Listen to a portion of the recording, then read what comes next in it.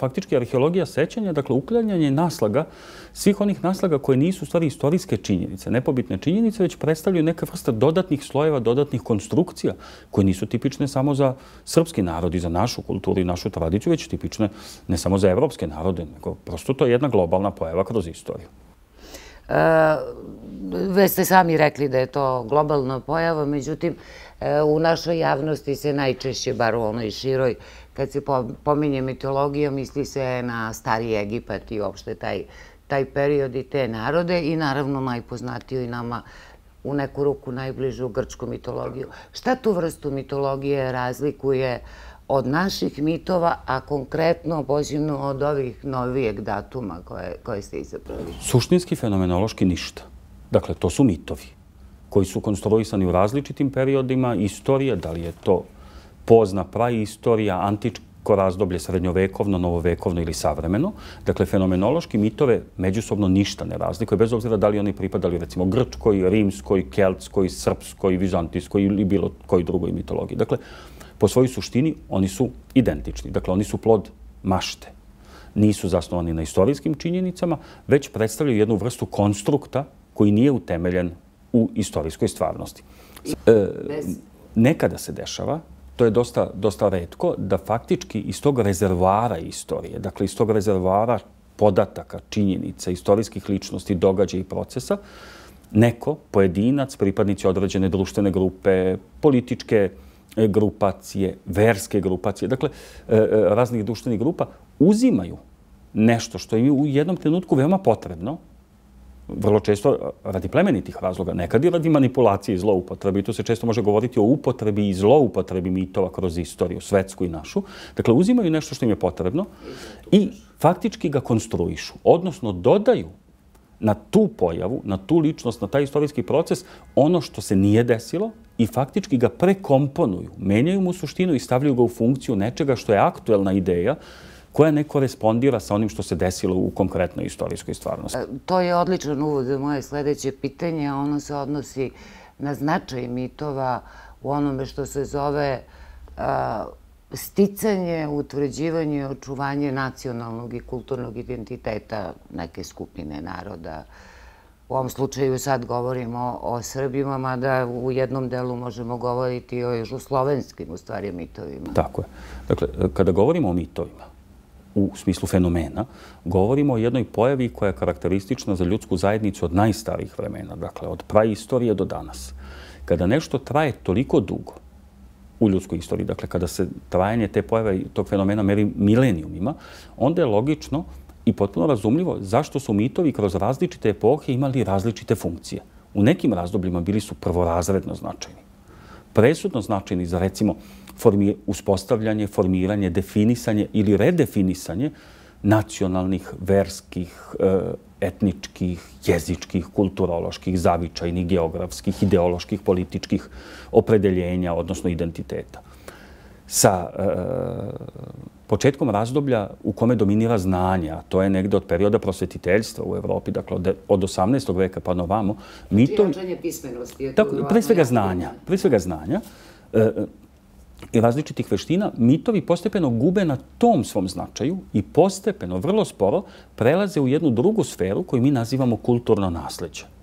I tu su izuzetno važan, izuzetno dragocen segment koji treba pre svega dobro poznavati, a potom i zaista ljubomorno čuvati. Zato što jesu deo, kada govorimo o našim mitovima, našeg kulturnog, nematerijalnog, materijalnog i pokretnog kulturnog nasljeđa. Dakle, vrlo često mi umemo da napravimo grešku da mitove i dan danas u 21. veku posmatamo kao identitetske karakteristike.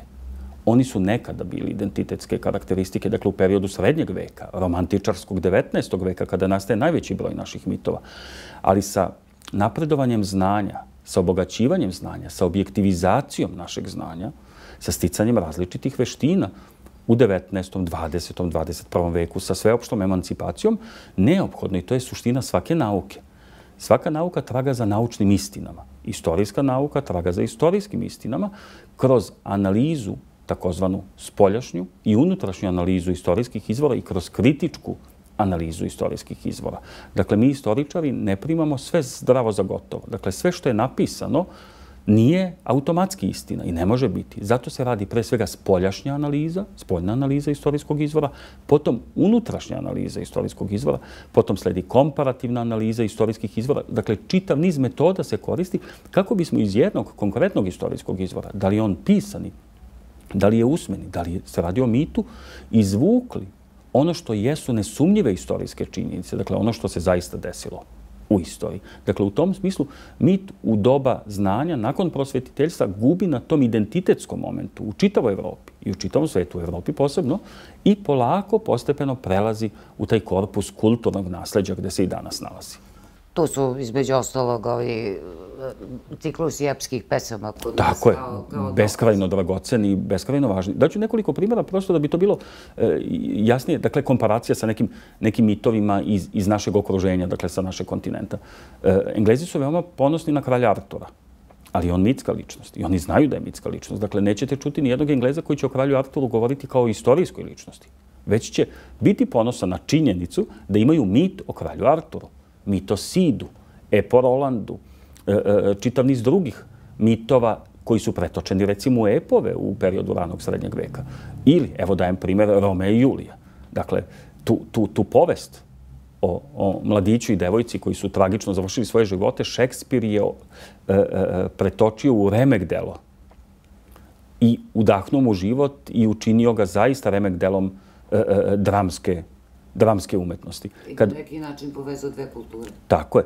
I kada odemo recimo u Veronu, u Veroni se nalazi Julina kuća i Julin balkon. I mi znamo, svi, da to nije Julina kuća, da to nije Julin balkon, da se tu ništa apsolutno nije desilo, da je ta kuća koja je naknadno odabrana, ali nam je lepo prosto da odemo, zato što ne postoji materijalni trag te ljubavi i onda je lokalna samouprava, odnosno stanovnici Verone su u jednom trenutku odabrali kuću koja će postati Julina kuća i danas je to velika turistička atrakcija. Ili također, evo dajem još jedan primjer, ona čuvena rečenica Marije Antoanete u oči, u oči izbijanja francuske revolucije, kada su joj rekli da su njeni podanici gladni, da nemaju hleb, ona je navodno izgovorila, jel, ukoliko nemaju hleb, neka jedu kolače, ta rečenica, tu rečenicu ona nikada nije izgovorila ona je njoj pripisana više od 50 godina nakon Francuske revolucije od strane jednog francuskog historičara koji je bio izrazito prorepublikanski orijentisan. I mi danas znamo da francuska kraljica nije izgovorila tu rečenicu, ali je taj mit i tekako snažan i koristi se i moje svoju funkciju. I završavam sa ovim komparativnim mitovima da bismo videli da je to jedna globalna pojava izuzetno lepa, veoma zanimljiva za istraživanje i izuzetno dragocena.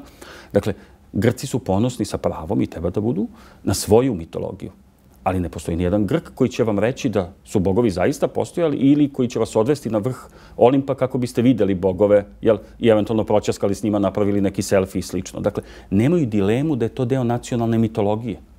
Kod nas se povremeno dešava da mi u stvari, birajući između istorijske i mitske stvarnosti, opredeljujemo se za mitsku stvarnost i time faktički sebe uskraćujemo za izuzetno značajna znanja, primere, iz istorije i na kraju krajeva krećemo nekom vrstom čak i stramputica. Evo, ovo je do sad bilo manje više teorijski. Evo jedan praktičan primjer iz, iz naše svakodnevice.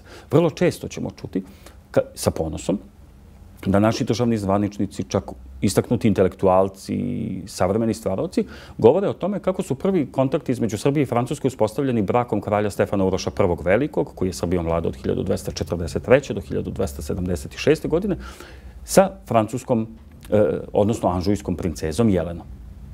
I makoliko mi istoričari ponavljali da kraljica Jelena nije bila francuskog porekla, da je bila vizantijskog carskog porekla i da sa francuskom nema nikakve veze, niti da je, ima bilo kakve veze ona svojim poreklom sa anžujskom porodicom i da je ona postala anžujska greškom tek krajem 19. veka, greškom u prevodu njene biografije, to e, e, izaziva sa jedne strane jedno razočarenje kako da sad to kraljica Jelena nije anžujska, a sa druge strane čak i odijum u onim ekstremnim desničarskim, ultradesničarskim krugovima koji sada smatraju da je to udar na nacionalni identitet.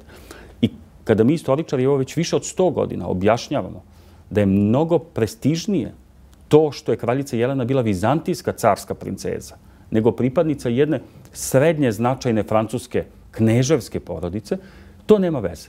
Ona je krajem 19. veka, bezmalo 500 godina nakon svoje smrti, ničim izazvano postala francuskinja, postala anžujka i to je od silnog ponavljanja ušlo u kolektivnu svest nacije i sada je vrlo teško ispraviti tu grešku.